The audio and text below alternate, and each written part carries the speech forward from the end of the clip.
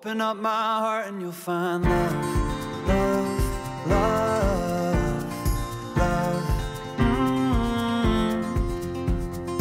Love, love, love. Open up my heart So ein feiner. Oh, ich habe den Jack gestern Abend, habe ich den noch rausgeholt. Welche Alle- Decke ist denn seine? Ähm, Jax ist die hier vorne. Ach so. ähm, gestern Abend. Alle Pferde waren wirklich auf der Weide. Und ich war hier vorne und habe hier gefegt. Und wer kommt und steht die ganze Zeit hier? Jack. Und guckt mich an, wie so ein Dülmer. Und dann habe ich gesagt, Jack, soll ich dich jetzt ehrlich noch rausholen? Ja, sollte ich. Also habe ich ihn noch geholt und schön geputzt. Im Humanbereich klappt das aber meistens nicht. Da muss man dann höchstens die Küche putzen. Ne, die, die Hufe sehen jetzt nicht ganz furchtbar dramatisch aus, aber auch die sind sehr, sehr kurz, wenn man sich den Anteil anguckt, der da drüber steht. Und der geht ganz langsam über die Steine. Und von daher ist mir da die Entscheidung jetzt auch relativ einfach gefallen, Markus zu überraschen und zu sagen, hallo, der da auch noch. Und nachdem Joey das so brav gemacht hat, mache ich mir bei Jack überhaupt gar keine Gedanken. Und ich finde die beiden einfach nur schön. Ich finde, es sind wohlproportionierte Jungpferde, wo man keine Bauchschmerzen haben muss, wenn man sich denn da irgendwann draufsetzt oder auch jetzt, so wie Vicky das gemacht hat, mal eben auf Joey setzen, wieder absteigen, weil die haben halt einfach ein schon Muskulatur, die haben schon Knochengerüst, die sehen gut aus.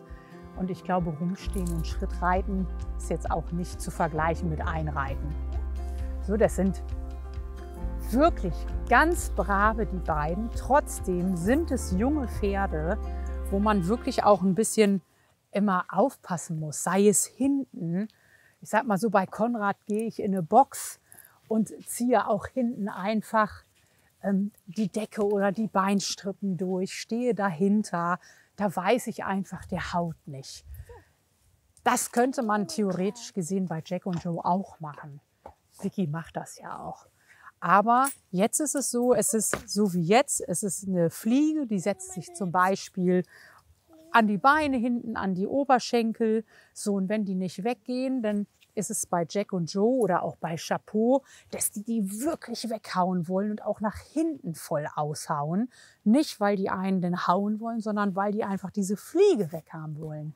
Und wenn man dann dahinter steht, dann kriegt man es ab, egal ob sie es wollen oder nicht. Und das hat zum Beispiel jetzt Konrad oder Happy, die haben das nicht. Die machen zwar so, aber die würden niemals in die Richtung hauen, wo wir sind. Egal, ob da eine Bremse sitzt, eine Fliege ist, die beißt oder sonstiges. Und das haben halt die Jungen hier noch nicht. Zusammenfassend kann man sagen, dass man bei den Jungen schon mal eher in die Ecke fliegt. Dafür sind sie aber auch meist ein bisschen niedlicher. Beide haben sich jetzt ihren Freiraum verdient. Also Firsty hat ja noch nichts getan, aber der tut gleich noch was. Bin ich mal gespannt, wie das heute läuft, weil Mama ist ihn ja gestern geritten und ob ich heute wieder eine Veränderung merke. Aber ich denke schon. Also es ist schon ein bisschen Konrad ähnlich. Jetzt kommt wahrscheinlich gleich. Vielleicht müsstest du auch mal sprechen, wenn du Ach da so. den Gang lang kommst. Er hat ja sich jetzt nicht erschrocken. Guck mal, das ha- hat Rabea uns vor die Tür gestellt. Was soll ich damit machen? Ah, cool. Ja, mega. Zeig mal.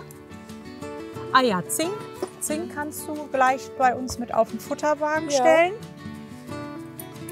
Gastro, Gastrobest, Gastroliquid, das kann theoretisch gesehen in eine Sattelkammer. Okay. Ist total praktisch. Das Rabea-Zink, das riecht mega lecker. Also deswegen benutze ich das am allerliebsten, weil das andere, das ist ja immer nur irgendwie so weißes Pulver und es ist irgendwie, ja, und das riecht so nach Mango, finde ich, Mango-Orange.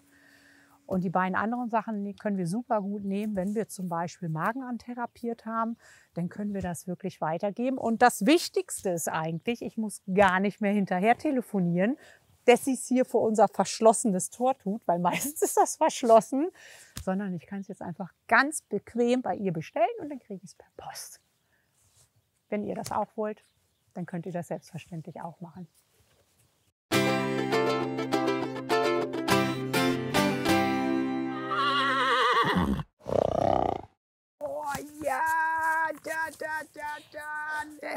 Das meine ich.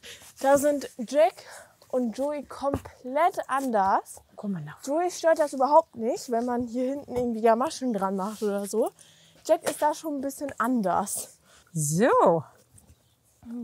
Ja. So, bei Jack mache ich das Gurten tatsächlich. Der kriegt von mir einfach ein Leckerli. Und während er das frisst, mache ich hier den ersten, den ersten dran, ganz leicht. Gut. So. Hopp. Gut so, fein. Ja, fein, fein, fein, fein, fein. Gut. Denk dran, hier stehe ich. Gut, klasse, super. Ich weiß noch, was das für eine Aktion war, wenn ich ihn am Brustkorb in der Schenkellage angetickt habe und gesagt habe, Seite, dann hat er mir sofort seinen Hinterruf um die Ohren hauen wollen und, oder ist dagegen gegangen. Und jetzt ist es wirklich so, man kann Seite sagen und er geht zur Seite. Finde ich schon mal toll, ist der erste Einstieg für Schenkelempfindlichkeit. Mache ich auf beiden Seiten, finde ich super. Und so kann man schön viel vom Boden aus, so beim Anbinden, beim Putzen, beim Führen schon ganz viel machen. Oh, komm mal her, mein Kleiner. Kleiner. Als ich ihn gestern so geputzt habe und an seinem Hinterteil war, habe ich gedacht, Teufel, ey, da kann ich gar nicht, kann ich gar nicht rüber gucken. So hoch ist das. So ist das halt. Eben waren sie noch klein und niedlich. Und jetzt groß und putzig. Ja, guck mal. Toll. Prima. So ein feiner bist du, ne? Ja. Willst du ihn longieren? Kann ich. Gut. Also habe ich jetzt nicht. Sehr schön. Aber Ja, kannst du machen. Ich bin ganz gespannt. Ich, dann haben wir einen direkten Vergleich. Ich speichere mir das zumindest heute wirklich ein, das Gangbild, wie er heute hier rüber geht und wie er auch heute auf dem Sandplatz geht. Und dann warte ich, bis Markus da vorne die Eisen drauf hat. Und ich hoffe, dass es der gleiche Effekt wird wie bei Joey, dass er plötzlich nur noch schwebt. Es ist einfach nur der Wahnsinn. Ich kann mich noch gut daran erinnern, wenn wir hier oben mit Jack durchgehen mussten, weil irgendwas ist. Und das war immer so, dass wenn wir hier oben auf den Platz gegangen sind, der Weg nach da unten natürlich sehr interessant war. Und dann wurde hier gedrängelt und dann wurden sich wirklich die Schrecksachen da gesucht und da gesucht, um irgendwie den Menschen, meistens mich oder auch den Kameramann, dahin zu drängeln, um ganz schnell dahin zu kommen. Und das war jedes Mal so, oh. und jetzt steht der hier und sagt sich, jo, wunderbar, Training, klasse. Du müsstest einmal die Aufstiegsleiter. Jättchen. Guck mal, dein Joey hat den ganzen Platz hier geschrottet. Äh, der- glaub, Tiefe dein Spuren Pferd, drin. Ich glaube, dein Pferd wird ihn noch mehr schrotten. Mein Pferd, Ja, weil der ja nicht so weil der so nicht was. nichts. Schlau. weil der so, Jack ist immer ganz süß, weil wenn er das erste Mal angaloppieren soll, dann macht er immer so eine Pseudo-Attacke. Also nimmt er richtig. Anlauf und man denkt, wow, jetzt geht es los. Und dann ist das so ein, ja, so Hoppel-Hoppel für fünf Galoppsprünge Jawohl. und dann ist gut. Hier. Gut. Das finde ich auch immer ganz schön, wenn ich Vicky das wirklich mal macht und ich kann von draußen gucken. Weil wenn ich drinnen stehe, selber die Longe halte, selber die Peitsche halte und quasi arbeiten muss. Zum einen arbeite ich ja ganz anders. Ähm, Ich würde schon immer gucken, dass ich die Schiefe mitkriege, was natürlich schwer ist bei den jungen Pferden. Und jetzt kann ich wirklich mal gucken, ohne diesen Blick zu haben, sondern jetzt von außen kann ich wirklich mir die ganze Runde angucken. Das finde ich einfach nur schön. Oh. Ah, hier, Jack. Weil er hat das noch nicht so geschnallt wie Joey, dass wenn man in die Tiefe kaut, dass der Druck dann weggeht. Äh, ja, fein! So, auch da sind die beiden ganz, ganz unterschiedlich. Weil wer jetzt genau hinguckt, der kann wirklich sehen, dass Jack nicht so gerne loslässt vorne, sondern sich eher so ein bisschen auf, auf das Gebiss draufhängt und quasi äh, Vicky eher so dazu zwingt, Beifahrer zu sein. Und wenn sie jetzt kein Beifahrer ist, weil er quasi etwas macht, wo Vicky jetzt reagieren muss, wie jetzt zum Beispiel der Rausdriften oder irgendwas anderes, dann muss sie sich ja muss sie sich ja ein bisschen durchsetzen. Und dann sieht man schon, dass er wirklich das Gebiss festhält und da drauf beißt und den Kopf hochnehmen will. Und das sind so Sachen, die möchte ich ganz gerne jetzt an der Longe wirklich schon machen, dass sie also lernen, ohne Reitergewicht am Gebiss nachzukauen, dass sie merken, Mensch, ich kann dem folgen und dann ist es angenehm. Mache ich etwas, was dagegen geht, wird es ganz schön unbequem. Und das ist letztendlich das, was ich möchte, was die beiden auch wirklich lernen, weil umso weniger Theater erhoffe ich mir denn letztendlich, wenn man drauf sitzt. Das könnte man nun fast auch schon wieder auf den Humanbereich übertragen. Das mit dem Sitzen lässt allerdings noch etwas gestalterischen Spielraum übrig. Abkauen, dieses Loslassen, vorwärts, abwärts gehen, besser wird, wenn er vorne beschlagen ist, weil bei Joey war das der Durchbruch. Ich finde aber, man sieht einen ganz krassen Unterschied vom Gangbild zu Joey und zu Jack.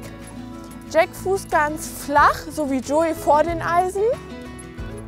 Und er winkelt die Beine nicht wirklich an. Bei Joey sieht man ja jetzt wirklich, der winkelt die an und schmeißt die richtig nach vorne.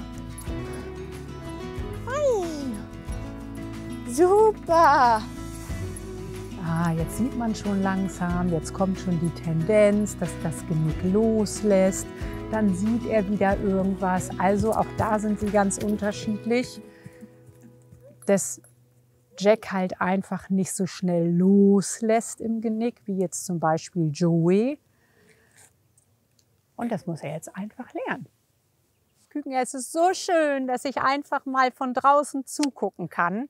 Das ist was völlig anderes, wenn du dir dein Pferd anguckst, oh, ohne selber was machen zu müssen, sondern einfach die Zeit hast, mal zu gucken.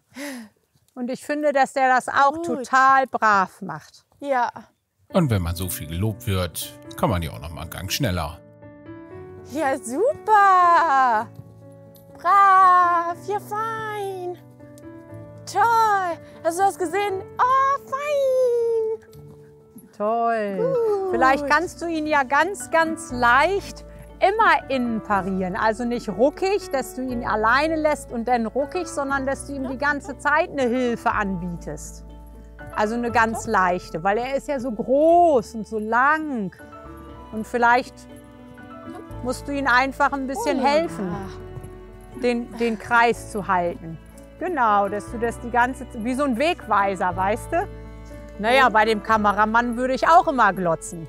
So einen hübschen Mann sieht man ja selten. Das hört sich jetzt verdächtig wie eine Einleitung zu ungeplanten Überstunden an. Wenn Blicke töten könnten, dann würde ich jetzt schon auf der Erde liegen.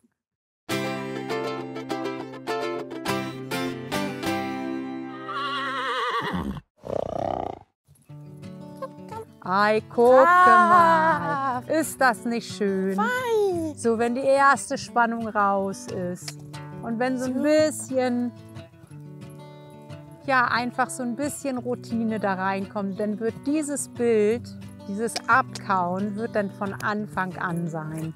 Ganz, ganz schön. Ganz fein. Gut. So, und meine nächsten Schritte wären wirklich, und deswegen ist mir das so wichtig, dass Jack und Joe jetzt wirklich lernen, auch schon mit einem Hilfszügel zu gehen, der ihnen ein bisschen den Weg in die Tiefe zeigt. Ich möchte natürlich relativ schnell auf Schiefe machen und dafür müssen sie einfach bei mir den Ausbinder akzeptieren und tolerieren und wissen, was passiert, weil wenn er das jetzt nicht kennenlernt, an das Gebiss anzuecken, so wie jetzt, fein, fliegender Wechsel. In der Anzeige würde jetzt stehen, ess ein Sterne. Und in der hier auch für Anfänger geeignet. So, das war mal kurz eine Stunde Zwischenfall. Wir haben den Kameramann wieder zusammengebaut. Der wurde von hinten umgelaufen von Jack. Und ich habe noch gesagt, das ist voll die Macht und es sieht von außen gar nicht so aus. Man denkt wirklich, da steht man in der Mitte und der macht nur so ein bisschen so und so ein bisschen mit den Beinen so. Aber da drinne, da kommt so viel Zug auf die Leine. Das ist wirklich Wahnsinn. Ich finde das ganz, ganz toll. Er sucht den Weg in die Tiefe. Er hält ja auch seinen Kreis. Ihm muss man viel mehr helfen als Joey. Aber er ist ja auch viel größer. Rum. Gut. Super. So, und was man bei Jack jetzt ganz schön sieht, ist immer, wenn er da Richtung Hindernisse kommt, wo eben gerade auch der Fastunfall passiert ist, schiebt er schon vorab im Galopp seine Hinterhand nach innen, als es eben Galopp war, weil dann kann er mit der Vorhand nämlich schnell nach außen weg und genau das hat man eben gesehen. Boah, wenn ich mal dran denke, ne? was das für ein kleiner Stöpsel eigentlich war. Und selbst da war er ja schon so groß. Ich kann mich noch daran erinnern, wo Vicky mit ihren Zöpfen in der Stallgasse stand, ähm, bei Ottens auf dem Hof und Jack mit seinem kleinen Kopf da oben durch die Stäbe guckte und wirklich auch den Tierarzt oder die Tierärztin wegkicken wollte, weil sie seine Allerwertesten abtasten wollte. Das fand er überhaupt gar nicht witzig. Und jetzt steht da wirklich so ein fertiges Pferd eigentlich, ein Koloss. Mal gucken, ob der Konrad überwächst oder ob er einfach, ob er jetzt einfach gewachsen ist und jetzt so bleibt und nur noch in die Breite geht. Mal schauen. Aber das ist letztendlich das, was wir gesucht haben. Mal gucken, wie es reiterlich wird, charakterlich wird. Mal gucken. Ansonsten muss es das Ausreitpferd für den Kameramann werden. Groß genug ist er ja. Oder Vickys Springpferd. Nee. Aber eher nicht. Nee? Nee. Was meinst du, wie der springen kann? Guck mal, wie brav der ist. Warum? Jetzt mal ganz ernsthaft. Das ist doch wohl einfach Wahnsinn, oder nicht? Die haben vor uns keine Angst, die haben auch hier keine Angst. Das ist ganz normales Jungpferdegehabe, dass die sagen, oh, muss ich wirklich noch weitergehen? Oder, ach, da ist der Kameramann, den kenne ich ja überhaupt nicht. Da muss ich mich erstmal vor erschrecken oder dies oder das. Das ist doch völlig normal. Aber das finde ich mega. Funny. Was hast du denn jetzt mit ihm vor? Äh, draufsetzen. Und ein bisschen losreiten. Vielleicht nochmal Galopp um Costray. Losreiten. Ja. Macht er ja brav, hast du doch gesagt, der ist ganz brav. Ja, manche Worte, die man sagt, bereut man später. so, egal. Kannst du mir bitte meine Kappe holen? Ja, ich, äh, ja, Komm. okay. Ich finde das so schön, Vicky, dass wir das alles so zusammen machen können. Und es ist auch, ja, ich will mal so sagen, als ich mit Pferden angefangen habe zu arbeiten, habe ich ja meine zwei Söhne gehabt, die waren ja noch ganz klein. Was soll ich? Ein bisschen was haben. Ich komme auch mit rein. Ja, aber du redest ja jetzt. Hier, bitteschön. Danke. und, und hatte gar nicht so viel Zeit, weil es wirklich stramm wegging. Ich habe viele Pferde eingeritten, viel waren ja, sage ich mal, so einen Monat da oder drei Monate da mit zwei kleinen Kindern. Ja, ich will mal so sagen, Jan und Philipp sind so mitgelaufen. Das sind meine Söhne. Und ich muss ganz ehrlich sagen, dass ich das jetzt wirklich richtig schön finde. Vicky hat Spaß an Pferden. Vicky hat eigentlich Spaß am Turnierreiten, hatte ich früher auch. Ähm, jetzt bräuchte ich es nicht mehr wirklich, aber warum soll ich sie da bremsen? Sie hat viel Talent und das jetzt auch. Also mit Jack und Joe oder mit den Gastpferden. Es ist natürlich total schön, wenn man eine Tochter hat, die das alles mitmacht, die das dann auch noch so gut macht. Und ja, mal gucken, ob das so ihr Leben ihr Leben weiter so geht oder ob sie was ganz anderes macht. Ich weiß es nicht. Aber so ist das natürlich schon schön. Wir sind hier nachmittags halt zusammen draußen und machen mit den Gastpferden was, machen mit den eigenen Pferden was. Und das ist schon schön und das hat auch eine schöne Bindung dann. Tu meinem kleinen Mädchen nichts, ne? Bitte? Jetzt sitzt sie schon drauf. hm? Gut. Jack, tu meinem kleinen Mädchen. Warte, warte. Oh. Jack. Du musst schön lieb sein zu meinem kleinen Mädchen, ne? Ja, okay? Das darf nicht geschrottet werden. Na, was ist? Wo willst du hin, Vicky? Äh, einmal so hier eine Runde. Und dann wieder zur Aufschießseite. Gut.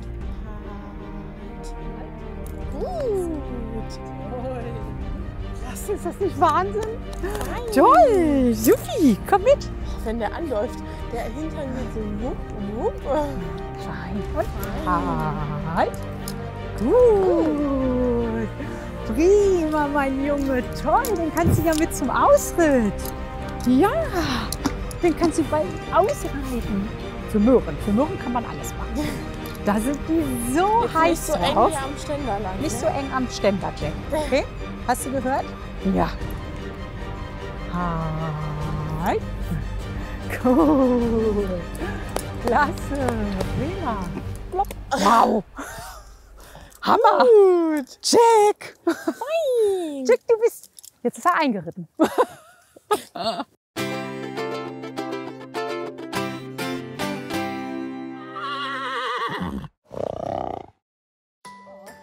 Er parkt immer zu übermütig ein.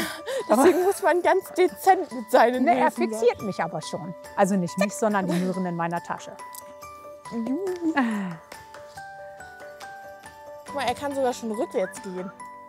Gut. Jack, Guck mal. Jack, komm her. Ja. Komm, mein Junge, komm, komm zu mir. Komm zu mir, mein Junge, komm. Ganz, ganz lustig. Komm her, mein Junge, komm. Ja, toll. Klasse. Brav. Ei, was bist du für ein Feiner. Wenn das die Anni sehen könnte. Schade.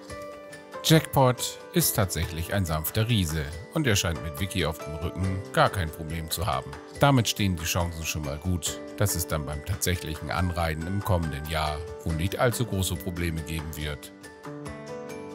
Super, Jack. Noch bin ich ja noch sehr unscheinbar einfach hier oben drauf. ich nehme meine Beine nicht dran, ich sitze einfach nur. Es ist immer so schwer, seine, so seine Emotionen runterzufahren und so, Oh. weil ich muss mich jetzt ja wirklich konzentrieren, cool zu sein und nicht zu denken, oh, jetzt geht er gleich los mit ihr oder sonstiges, weil das ist Geht jetzt das nicht. erste Mal Laufen mit Reiter. Vicky hat immer so schöne Ideen. Ne? Gut. Klasse. So, kommst du mit, Jack? Ja, komm mal her. Hm? Toll. Super, super, super, super, super. So, Gut. wo soll ich dich jetzt absetzen? Einfach hier stehen bleiben. Brav. Oh, du Feiner. Guck dich das einer an. Gut. Oh, Küken. Brav. Guck mal. Bin ich gut, ne? Mega. Draufsetzen ist immer lecker. Draufsetzen ist mal lecker. Da hast du recht. Und Guck mal, Laufen da ist noch sind die viel beiden leckerer. noch unterschiedlicher. Weil Jack ist einfach so, dem hältst du eine Möhre vor die Nase und dann macht er das einfach. Joey ist da anders. Ja. Joey kann man nicht mit Fressen ablenken von dem, was da oben drauf ist. Das guckt er sich an und wenn er Ja. es da oben nicht drauf haben möchte, dann möchte er das da auch nicht drauf haben. Auch nicht für Möhren oder für Hafer oder für sonst was. Ne? Na siehste, Wahnsinn. Das ist doch wohl der absolut krönende Cool. Abschluss. Vicky auf Jack im Schritt und das war noch nicht mal, es sah noch nicht mal spannig aus Nö. oder so. Das sah einfach so aus, als wenn er das schon immer macht. Super. Und für so eine tolle Leistung gibt es dann natürlich noch eine extra Möhre. Da, du musst noch was, was super Nettes sagen über mein Pferdchen. Das gibt Punktabzüge. Mama, Hä? das gibt Punktabzüge in der. Bewertungsskala. Habe ich eine Gamasche vergessen?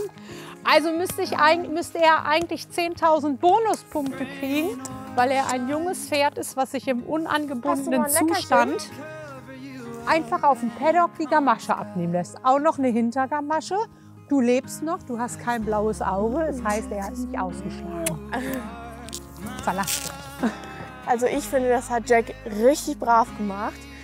Ja, er hat ein paar Mal gebockt, hatte ein bisschen Power unterm Hintern, genauso wie Joey. Aber es war total brav. Er ist da seine Runden einfach gezogen. Und das Draufsetzen war ja wohl das Highlight. Draufgesprungen, wortwörtlich. Und dann Mama vorgelaufen. Die erste Runde bin ich kurz alleine gegangen, zu Mama hin. Und dann einfach vorgelaufen und er hinterher. Hallo Joey! Ja. So sieht das aus. Man bringt einen zurück. Joey war gerade erst dran. Er hat gar keine Scheu zu sagen, guck mal, ich komme noch mal. Die kleinen Schnuffels, ne? Haben wir wirklich Glück mit gehabt, ne? Ich glaube, die beiden haben aber auch Glück, dass sie hier sind. Ne?